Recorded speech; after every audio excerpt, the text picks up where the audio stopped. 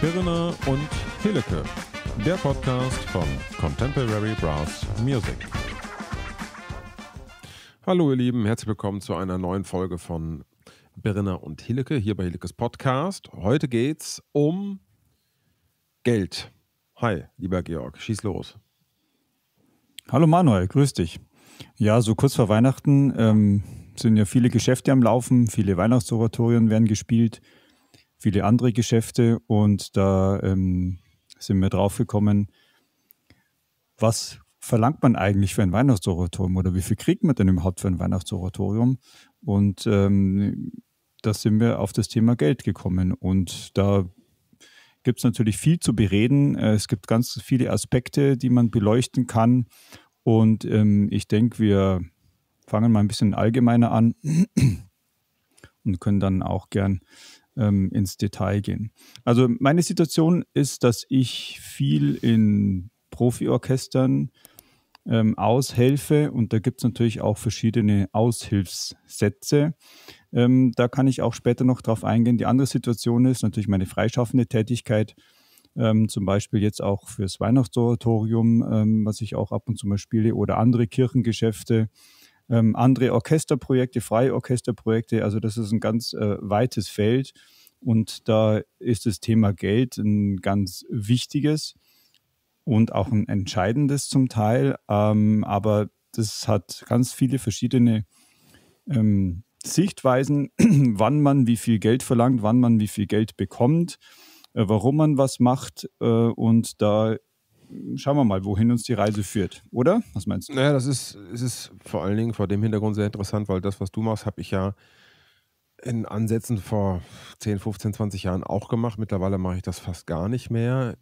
Ich mache halt andere Jobs. Und so einen Job hatten wir letzte Woche fast zusammen gehabt. Hätte ich jetzt, wäre ich jetzt nicht krank geworden. Ähm, und da kam man nämlich auf, auf Geld. Also ich spiele ja äh, viele Events, wo ähm, was heißt viele, aber einige, ähm, wo bestimmte Ensemble zusammengestellt werden, ne? also im Businessbereich. Und da gibt es natürlich andere Gagen als im kirchlichen Bereich oder im, ich sag mal, im konzertanten Muckenbereich. Das ist teilweise sehr unterschiedlich und es sind auch teilweise sehr unterschiedliche Herangehensweisen. Und das sind einfach Mikrokosmen. Jeder schwirrt so in seinem eigenen Universum und weiß dann überhaupt nicht, was der andere macht. Das merke ich immer dann, wenn ich junge Musiker für meine Projekte engagiere oder wenn ich dann auch mal wieder gefragt wäre, werde für eine Kirchenmucke oder was auch immer. Ne? Also ich glaube, das ist interessant, dass wir diese zwei Seiten heute mal gegeneinander stellen, weil die gibt es halt maßgeblich. Also einmal den kompletten freien Sektor und dann den Sektor, der an irgendwelche, ich sag mal weitestgehend musikalischen oder pädagogischen Institutionen gebunden, äh, gebunden ist. Jo, okay, mit was fangen wir an? Ja, äh, pass auf. Bevor wir jetzt, also wir haben immer so den, wir haben immer so ähm, die Vorgehensweise, dass wir versuchen, alle mitzunehmen. Ich glaube, das wird wahnsinnig langweilig, wenn wir nicht direkt mal hier was auf die, auf die Orgel schmeißen. Ähm, also, unter was spielst du ein Konzert nicht? Äh, Entschuldigung, beziehungsweise ist blöd formuliert. Was, was muss ich dir mindestens zahlen, damit du als Trompeter abends ein Konzert spielst im Orchester? Im, im, in welchem Orchester? Im Profiorchester oder im Laienorchester? Das ist mir total Das wurscht. musst du schon genau definieren, weil ja, das, das, ist, das nee, ist ganz, ganz schwierig. Ja, ich weiß, ich weiß. Aber dann kommen wir in Teufelsküche. Also natürlich, pass auf, es gibt fünf Gründe, warum man ein Gig zusagt. So, ihr liebe Leute da draußen, ich habe ja auch einen äh, Bandmanagement-Workshop. Ich kürze das mal ab, weil dann können wir nämlich viele Sachen heute abkürzen. Äh, das Soziale. Ich spiele gerne mit Leuten zusammen, die ich mag. Äh, Geld, ganz profan, aber wichtig. Ähm, ich möchte was lernen. Ich möchte mich musikalisch weiterentwickeln. Also die Musik an sich, die Qualität der Musik. Äh, Ruhm und Ehre, ja, äh, ein bisschen Stolz gehört ja auch dazu. Und last but not least ähm, hätten wir dann noch Kontakte im weitesten Sinne Networking. Es gibt noch ein paar mehr, aber das sind jetzt mal so die, die allerwichtigsten. So, und das ist jetzt ja genau der Punkt. Ähm, wenn du andere Prioritäten bei einem Gig hast, ist die Gage nicht so wichtig. Ja? Dann sagst du vielleicht, oh, mir ist das Soziale aber äh, lieber oder mir ist das Musikalische aber wichtiger, deswegen mache ich es jetzt mal für weniger. So, und das ist jetzt genau der Punkt, an dem wir uns befinden. Das ist natürlich auf Messerschneide. Ne? Gerade äh, wenn man auch in unserem Alter ist oder man ist halt nicht mehr Student, ähm, dann hat man manchmal Probleme, äh, bestimmte Entscheidungen zu rechtfertigen, weil andere Leute dann irgendwie, die das mitkriegen, denken, hä, wieso macht er das jetzt? Und wahrscheinlich zielt deine Fragestellung daraufhin ab. Ähm, ja, okay. Also bevor wir da am heißen Brei reden, also ich, äh, ich sage einfach mal, äh, was so Sache ist. Ähm, wenn ich für ein Orchester oder Theater gefragt werde, äh, dann äh, gibt es bestimmte Aushilfssätze, was jedes Orchester hat. Ähm, das ähm, Theater in Passau, wo ich am meisten äh, mittlerweile auch spiele, weil ich in der Nähe wohne, die zahlen äh, 90 Euro für eine Probe plus Fahrtkosten und für eine Vorstellung 140 Euro plus Fahrtkosten. Wobei das ein Spezialfall ist, äh, weil bis vor kurzem haben wir für 66,50 Euro die Probe gespielt. Probe dauert bis zu drei Stunden und Vorstellung für 100, was war das? 110. Boah, ist das wenig. 115 Euro. Also das war wirklich irgendwie skandalös und die letzte Gagenerhöhung war von 2006, also vor der aktuellsten Gagenerhöhung. Und äh, sie wollten die Gagen erhöhen, aber haben die Gagen nur, ähm, also zwar für alle erhöht, aber wir wären, weil wir so nah dran sind, ähm, hätten eine geringere Erhöhung oder geringe Gagen erhalten, weil wir ja vor Ort sind. Und, äh, und da haben wir uns dagegen gewehrt und haben tatsächlich zwei Wochen gestreikt. Also wir haben einfach nicht gespielt, obwohl sie uns angefragt hätten, obwohl sie uns gebraucht hätten. Und dadurch haben wir erwirkt, dass wir dieselbe Gage bekommen wie die, die von weiter her kommen. Also weiter her ist in dem Fall mehr als eine Stunde Anreise. Weil wir gesagt haben, wir wollen uns das nicht bieten lassen. Wir sind immer vor Ort. Wir springen ein, wenn Not am Mann ist. Und dann wollen wir doch mindestens das Gleiche haben wie die anderen, die von weiter her kommen, die natürlich auch zusätzlich mehr Fahrtkosten bekommen. Ähm, also ähm, da haben wir uns ein bisschen durchgesetzt, aber das ist natürlich immer noch viel zu wenig. Äh, wir, haben, halt, ja. wir haben ganz viele Zahlen gewälzt im Vorfeld, äh, was wir verlangen können vom Theater. Ähm, das Problem ist die rechtliche Grundlage. Es gibt im Moment noch keine rechtliche Grundlage, ähm, die uns in, in die Situation bringt, irgendwie wirklich zu verhandeln. Ja, also im Grunde kann jeder seine eigene Gage mit dem Theater ausmachen ja. als Freischaffender. Ja, genau, genau. Ja, und, und das, das äh, führt natürlich zu skurrilen Sachen, äh, dass manche halt wirklich ihre Privattarife im Theater haben und dann irgendwie fünf Euro mehr kriegen wie der andere, bloß der andere weiß das nicht. Also, und da gibt es ganz, ganz seltsame Konstellationen. Es kommt natürlich darauf an, ob das Theater das auch ähm, mitmacht oder nicht. Okay, jetzt muss man aber trotzdem für diejenigen, die davon keine Ahnung haben, nochmal kurz ein paar Sachen erklären für, zu so geringen Gagen kann man natürlich eigentlich nicht spielen. Das macht ja nur Sinn, wenn man sehr viel in diesem Haus macht, wenn man noch andere Sachen damit ähm, verknüpfen kann, ähm, wenn sich dadurch vielleicht auch andere Kontakte ergeben, ja, wenn der Arbeitsaufwand nicht so, nicht so groß ist. So, dann, Ganz genau. Dann macht genau. es Sinn. Der, der Arbeitsaufwand ne? ja, für, für so Theaterjobs ist relativ gering, weil man ja da auch die Proben hat und man muss dann in der Regel nicht besonders viel vorbereiten. Ja. Das ist jetzt äh, was anderes, wenn ich jetzt ein ganzes Programm zusammenstellen muss und, und schwere Stücke äh, üben muss und so. Also das ist ähm, äh, in dem Fall jetzt nicht so. Aber natürlich haben wir auch Reisen, weil wir auch auswärts spielen und da geht natürlich schon viel Zeit drauf.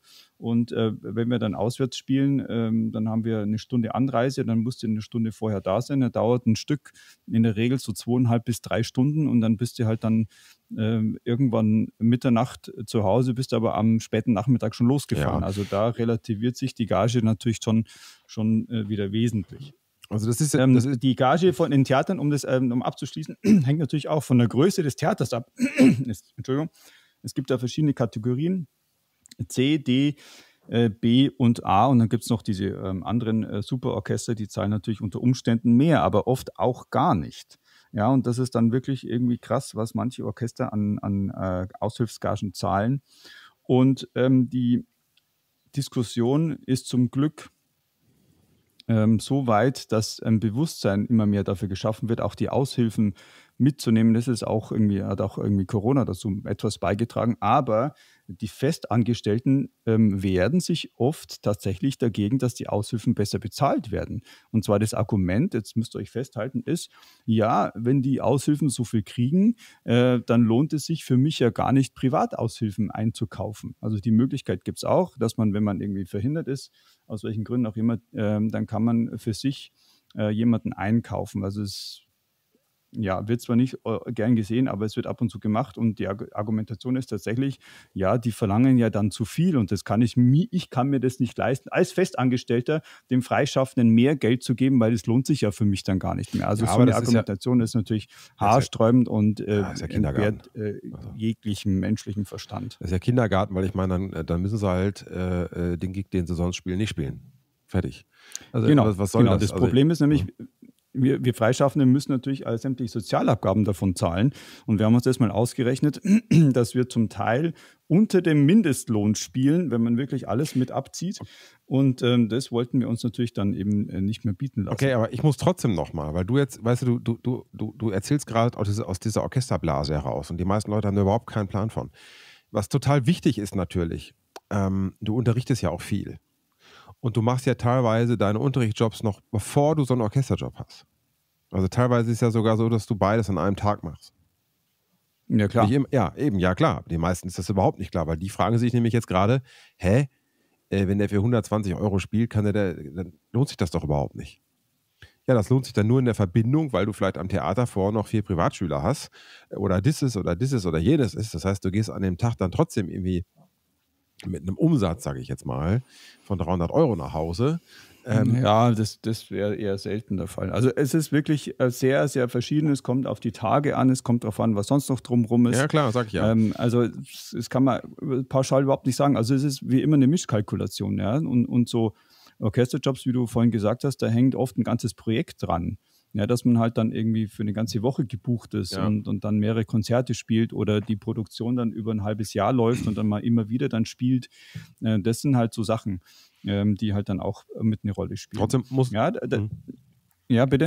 Ich muss jetzt aber trotzdem nochmal genauer in, in, das Gagendetail rein, weil was, wir, wir sind nämlich jetzt gerade schon wieder, wir verlieren uns im Musikeralltag. Ähm, aber die meisten interessiert natürlich, was, was gibt es denn überhaupt für Gagen, was gerechtfertigt und, und, und ähm, und was ist auch skandalös? Ich meine, das Skandalöse haben wir gerade gehört, ja.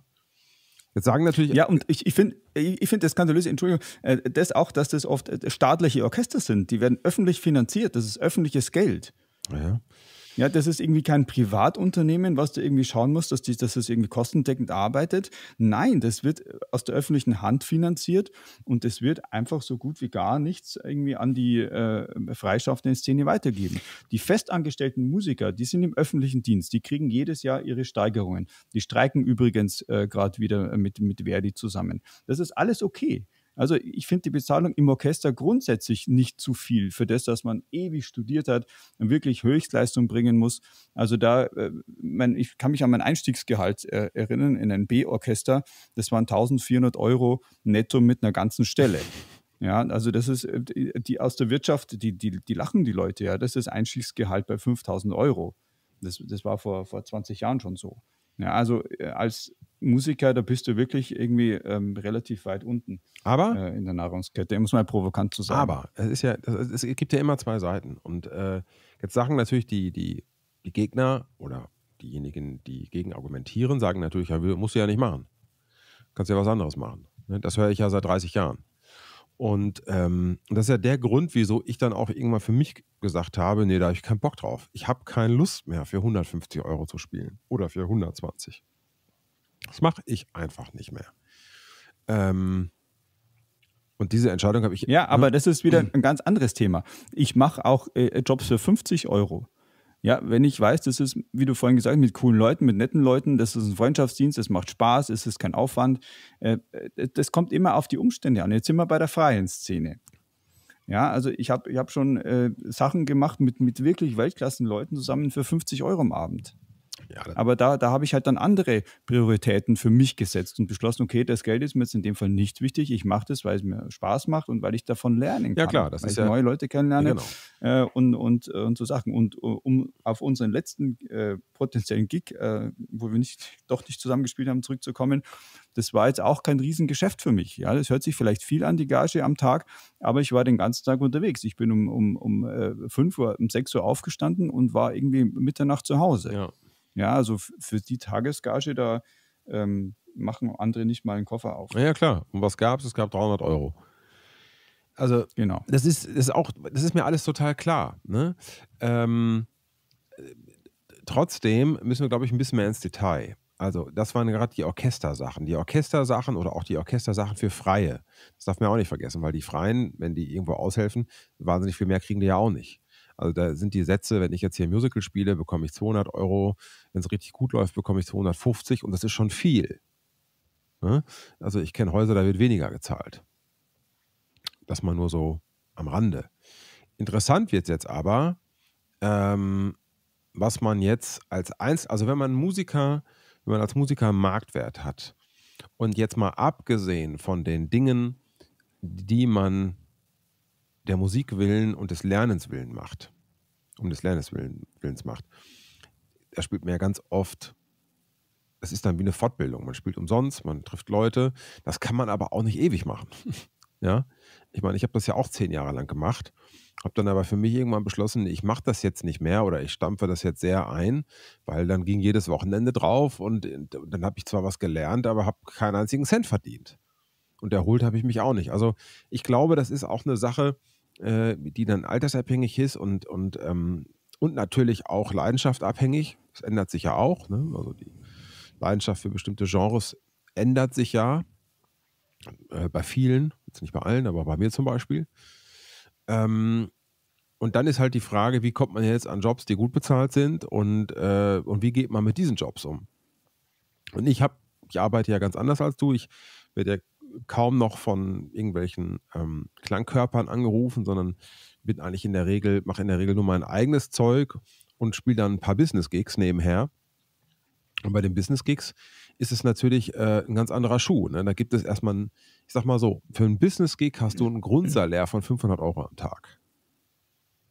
Pi mal Daumen. Wenn du einfach als Einzelmusiker angerufen wirst, also wenn ich jetzt irgendwo einen Coverband-Job habe oder wenn ich irgendwo einen Solo-Job habe, ähm, die, die absurdesten Sachen, ja, ich sollte schon mal Latino-Solo für äh, Havanna äh, Zigarren irgendwie im Steigenberger in Frankfurt spielen. So, bin ich dahin,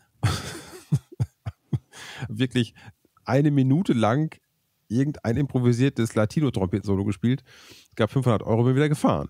So. Ne, das, das, also das sind da so die Standards. Alles andere, was dann davon abweicht, ähm, was weiß ich, ob man dann jetzt noch ein Ensemble organisieren muss oder noch Notmaterial organisieren muss oder ob man sagt, ich habe dieses Budget, ich könnte das jetzt mit, mit einem Duo machen, ne? ich mache es aber lieber zu dritt, weil es dann weil es dann cooler ist, so wie wir das zum Beispiel jetzt in Frankfurt gemacht haben, ähm, dann ändern sich die Preise natürlich wieder. Ne? Aber grundsätzlich hast du in dieser ganzen Business-Szene hast du da Preise, die sind zwischen 500 und 600 Euro für einen Einzeljob. Und dann spielst du natürlich auch oft Mist. Also du musst oft Sachen machen, die dir musikalisch keinen Spaß machen. Oder nur bedingt, wo du nicht viel lernst. Aber du verdienst halt das Doppelte und pennst halt in einem netten Hotel und fährst mit der Bahn wieder heim und bist, sitzt halt nicht drei Tage in der kalten Kirche. Ne? Oder äh, fährst dann halt nicht irgendwie fünf Tage im Bandbus äh, durch halb Mitteldeutschland äh, und kommst wieder krank nach Hause. Also es gibt immer diese zwei Seiten. Ne? Ja, und, und das Leben besteht eben aus den zwei Seiten und es gibt weder das eine noch das andere, sondern das ist immer eine Mischkalkulation. Ja? Und, und das ist ja das, was, was unsere, unsere Jobs auch interessant macht. Und ähm, ähm, noch ein, zwei Nebenaspekte. Also in der, in der klassischen Szene da gibt es natürlich auch spezielle Nischen.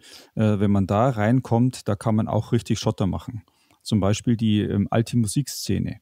Ja, wenn man da ganz gut im Geschäft ist, äh, dann äh, kann man Preise aufrufen, äh, die sind jenseits von dem, was wir uns vorstellen können. Also das wird dann einfach gleich mal äh, schnell vierstellig für, für zwei Konzerte. Ja, und, und äh, das hat natürlich auch was ähm, damit zu tun, wie so die, die Szene etabliert ist oder wie so die, der Stellenwert ähm, also sowohl Stellenwert wie auch Wert der Musik gesehen wird. Und gerade diese alte Musikszene äh, ähm, besteht aus vielen Spezialisten, äh, die zum Teil vor Jahren schon einfach finanzielle Maßstäbe da reingebracht haben, ähm, die heute noch äh, gültig sind, äh, weil das einfach verlangt worden ist. Ja? Und die Leute wissen, wenn ich das und das haben will, diese spezielle Art von, von Musik, von Musikern, dann kostet es einfach einen Haufen Geld. Und so ist es ja auch äh, mit, mit ähm, das gibt, die Szene gibt es fast gar nicht mehr, aber mit, mit guten Studiomusikern, die haben halt auch andere Preise, wie jetzt jemand, der halt irgendwie für einen Aushilfsjob irgendwo schnell mal angefragt wird. Ja. Und die andere Sache ist, die ich auch noch mit reinbringen will, ist, ähm, was oft auch irgendwie von manchen Kollegen verwechselt wird, ja, wenn es wenig Geld gibt, dann spiele ich Mist und wenn es viel Geld gibt, dann spiele ich dann gut. Ja, also das, das kommt für mich und für dich natürlich auch nicht äh, in Frage. Also egal, ob es viel oder wenig Geld gibt, wir spielen immer so gut, wie es geht, weil es geht immer auch um die Sache. Ja, klar. Ich meine, das wäre das wär ja schlimm. Ähm, dann könnte ich meinen Job überhaupt nicht mehr machen. Also dann würde ich das Ding an den Nagel hängen. Also das finde ich das allerletzte. Ähm, nein, wenn man zugesagt hat, ist man all in. Und zwar so mit, der ganzen, mit der ganzen Energie, die man hat. Ähm, zumindest, ich sag mal so, das ist jetzt natürlich sehr idealistisch, ne? aber klar gibt es Unterschiede im Engagement, aber nicht Unterschiede bei der Erwartungshaltung der eigenen Leistung im Endprodukt, sagen wir es mal so. Ne? Also natürlich bereite ich mich äh, auf einen Gig, der wahnsinnig wichtig ist, wo meine Reputation von abhängt, anders vor, äh, als auf einen Rock'n'Roll-Gig im Club, äh, den ich schon 50 Mal gespielt habe, wo ich das Programm kenne. Ne? Das ist schon was anderes. Dennoch möchte ich natürlich also ich will damit sagen, es gibt Gigs, die kosten nicht wahnsinnig viel Energie und es gibt Gigs, die kosten nicht so gut wie keine Energie. Und das ist auch total wichtig, weil wenn nicht jeder Gig wahnsinnig viel Energie kosten würde, dann könnte man diesen Job überhaupt nicht machen. Ich meine, das wäre, ja, das wäre, das wäre, das wäre, das wäre, das ist dann einfach wirklich, ähm, also wenn du das resilienzmäßig nicht mehr verpacken kannst, ne? also wenn du immer nur auf dem Schleudersitz sitzt, Platz genommen hast, also wie das teilweise bei ersten Trompeten im Orchester ist, im A-Orchestern ist, die dann, die sich dann nach kurzer Zeit schon wieder auf die zweite setzen lassen, weil die nämlich dann auch gerne ein Familienleben haben möchten. Äh, und nicht jeden Abend denken, Gottes Willen, jetzt muss ich das schon wieder machen, da darf nichts schief gehen. Das ist halt Stress. Und man braucht eben Gigs, die kein Stress sind und die trotzdem Geld abwerfen. Das habe ich für mich beschlossen, das finde ich total wichtig. Und ich hatte, weißt du, ich hatte vor einiger Zeit mal mit einem Kumpel eine Rechnung. Ja, Mensch, aber da musst du ja, wenn du, also eigentlich muss man ja als Musiker, man ja jeden Tag irgendwie einen Job von, von 250, 300 Euro, damit es überhaupt funktioniert. So. Und da meinte ich so, nö, brauchst eigentlich einmal die Woche einen, der 1000 abwirft. Dann macht es viel mehr Sinn. ja, das wäre natürlich der Idealfall. Ne, wenig spielen und dafür einen Haufen Geld kriegen. Ja, aber es gibt ja. Ja, aber, aber leider ist es halt nicht so. Wir, wir können es uns oft nicht aussuchen. Naja, manchmal aber, ist aber, halt viel, aber, manchmal ist wenig. Aber, aber, aber, aber, äh, ich finde, das ist nicht ganz richtig. Ähm, weil du hast ja eben schon gesagt mit den Kollegen von der alten Musik, die haben eine Wertigkeit hingestellt, die akzeptiert werden musste. Und wenn du bestimmte, wenn du ein bestimmtes Angebot hast, wofür du bekannt bist, ähm, dann kannst du dafür ja auch dein Geld verlangen. Also oft ist es einfach nur eine Frage der Kommunikation, eine Frage der Reputation. Ähm, ich meine, das, das sehe ich ja auch jetzt hier über meinen Kanal. Ne? Also ich meine, die Leute haben teilweise äh, Manschetten, mich anzurufen wegen Unterricht, weil sie denken, ich sei irgendein Internetstar. also, da muss ich Bist immer, du doch, oder? Muss ich immer schmunzeln. Ja. Also ich mache nichts anderes als meinen Job, nur habe ich den halt ins Außen verlagert, habe den digitalisiert. Das ist alles, was ich gemacht habe. Ähm, aber deswegen kommen Leute teilweise äh, aus Rostock zu mir und nehmen Unterricht. Ja? Also lange Rede, kurzer Sinn, das ist in der Musik oder bei den Gagen natürlich genau das Gleiche.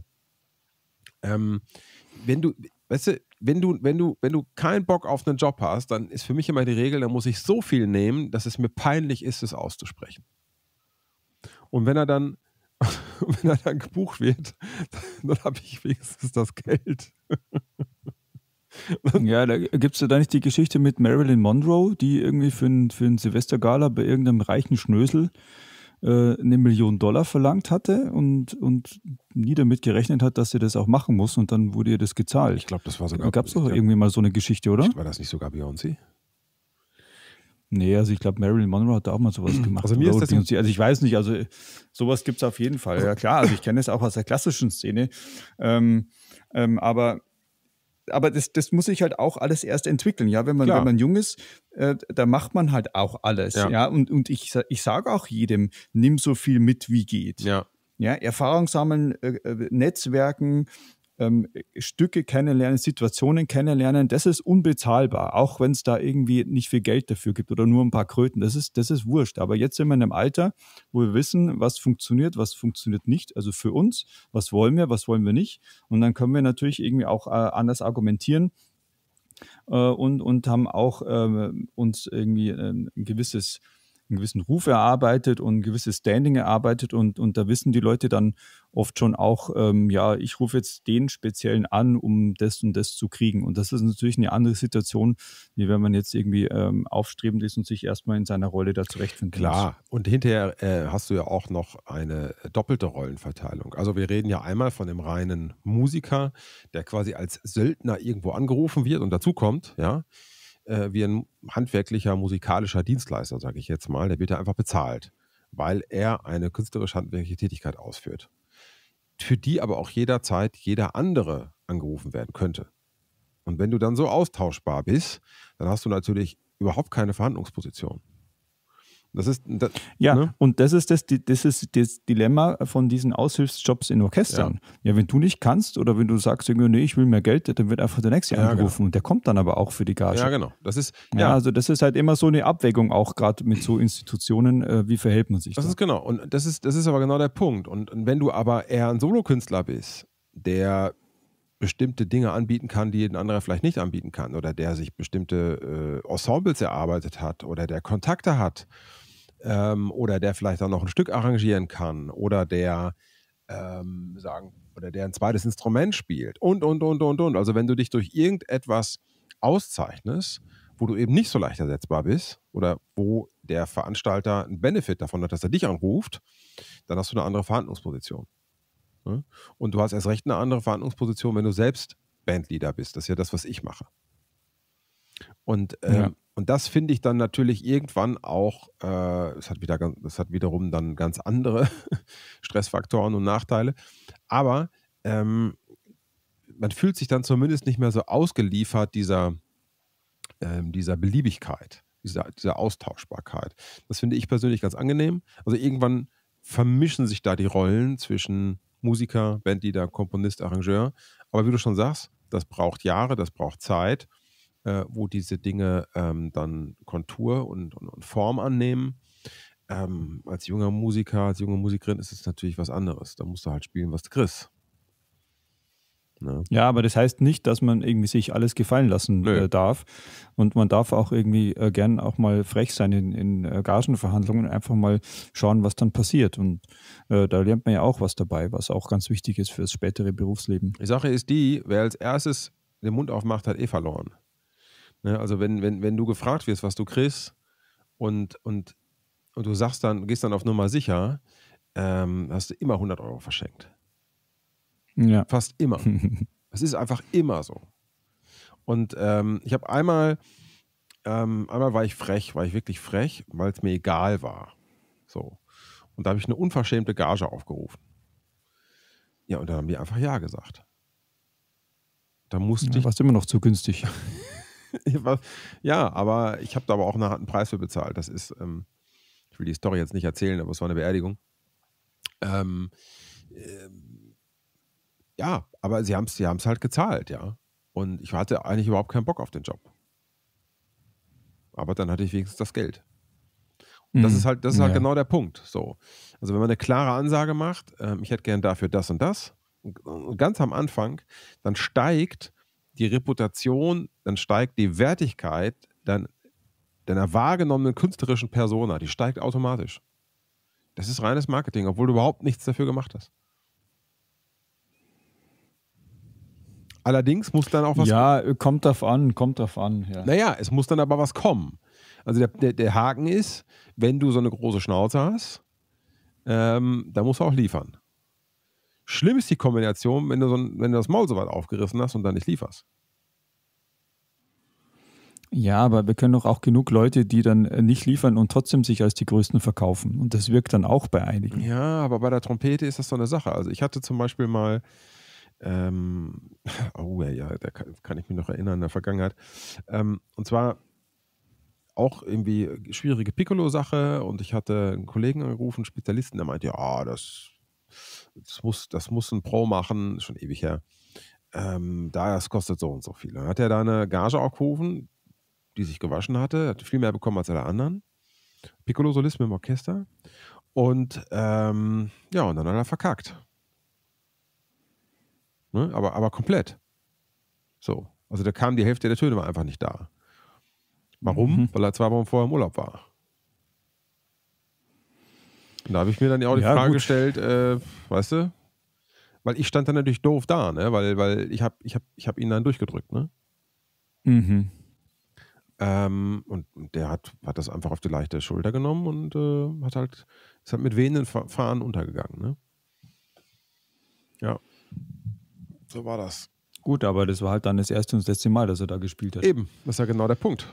Das heißt, wenn du sowas machst ähm, und, und dann spricht sich das halt wahnsinnig schnell rum. Das heißt also, wenn du, wenn du ein großes Maul hast und, und wenn du was verlangst, dann musst du super vorbereitet sein und musst auch absolut professionell äh, in der Vorbereitung ähm, im ganzen Handling. Das heißt nicht, dass dir kein Fehler passieren darf, aber diese, dieser ganze Firlefanz, der darf dir nicht passieren. Ja, das ist klar. Ja. ja.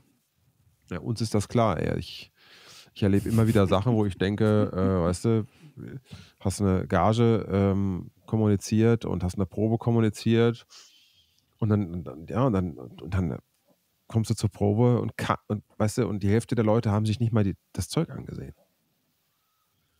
Dann denke ich halt auch. Ja, aber das, das, das gibt es leider überall. Also da gibt es so viele äh, Geschichten aus den, den äh, besten Ensembles dieser Welt da geht, läuft nicht, auch nicht immer alles rund und, und da gibt es auch immer viele Interessenkonflikte. Die einen sind vorbereitet, die anderen nicht. Die anderen wollen nur die Kohle kassieren. Ja, ja, äh, die anderen wollen gute Musik machen. Also das ist immer ein, ein Interessenskonflikt. Ähm, den gibt es überall in, in, jedem Ensemble. Also ich habe da noch kaum was anderes gehört. Ja, gibt es ja im Prinzip auch in jedem Team. Es ist ja in jedem, in jedem Arbeitskontext ist das ja so. Ähm, aber bei Musik tut es halt besonders weh, weil da für einen Teil der Leute halt wahnsinnig viel Herzblut reinfließt weil das ja eine Sache ist, weißt du, mit der du dich identifizierst, ist ja deine Leidenschaft. Und es gibt nichts Schlimmeres, als eine Kunst, Kunst auszuüben mit Leuten, die da leidenschaftslos dran gehen. Das, das, mir zieht das immer den Boden oder den Füßen weg. Ich denke dann immer, okay, dann denke ich jetzt wirklich nur ans Geld. Ja? Also das ist dann, ich finde es sehr schwer, ähm, äh, also für wenig Geld zu spielen ist das eine, aber mit Leuten zu spielen, die auf das, was sie da machen, keinen Bock haben, das finde ich noch viel schlimmer. Das stimmt, ja. Also das äh, hat dann äh, überhaupt nichts mehr mit dem zu tun, was wir da eigentlich wollen und, und was dann eigentlich Spaß macht ja. und was eigentlich der Sinn der Sache wäre. Ja, ja also das ist, ich sehe es ja auch in vielen Orchestern so, weil die Leute haben einen super Job äh, und, und sie können nichts anderes wie jammern, ja, wie viel Dienste haben und wie wenig Freizeit und äh, es gibt immer was zu jammern. Man kann immer sich beschweren über alles, aber, aber ihr habt euch den Job ausgesucht, ja. Und, und wenn ihr keinen Bock auf den Job habt, dann geht nach Hause, dann macht was anderes. Mhm. Ja, aber ich meine, es gibt so viele Leute, die, die, die hätten gern einen Orchesterjob oder, oder eine Festanstellung und die würden alles dafür tun. Und ähm, ja, und dann die solche Plätze werden dann belegt von Leuten, die da irgendwie eigentlich überhaupt keinen Bock drauf haben. Und das verstehe ich einfach überhaupt nicht. Ja. Und, aber so ist es halt überall. Das ist ein einen Job und mit, mit seinen Vor- und Nachteilen und da werden wir die Menschen auch nicht mehr ändern können. Hm. Schönes Wort zum Sonntag. Machen wir mal einen Deckel drauf, würde ich sagen. Alles klar, jo. gerne. Aber das ist natürlich ein ausuferndes Thema. Ich meine, vielleicht machen wir noch mal eine zweite Folge von. Ähm, ich merke jetzt gerade schon, dass ich die Hälfte der Anekdoten, die ich erzählen wollte, auch einfach vergessen habe. Habe ich nicht erzählt. Aber das macht auch alles gar nichts. Wir wünschen euch ähm, ein frohes neues Jahr erstmal. Und, äh, und einen guten Rutsch, frohe Weihnachten. Wir haben heute jetzt kurz vor Weihnachten, den 14. Dezember, nehmen wir heute die Folge auf und mal gucken, wann sie rauskommt. Ja, wir wissen es noch nicht so genau. Aber ähm, in diesem Sinne, alle Links, die komplette Werbung natürlich wieder im Anhang unter dem Video oder auch in der Description Box auf Podcaster bzw. Spotify. Und ich sage erstmal Tschüss und sage vielen Dank an dich, Georg. Alles klar, gerne und an euch alle auch liebe Grüße und äh, lasst euch gut gehen und bleibt gesund. Bis bald. Tschüss, ciao, ciao.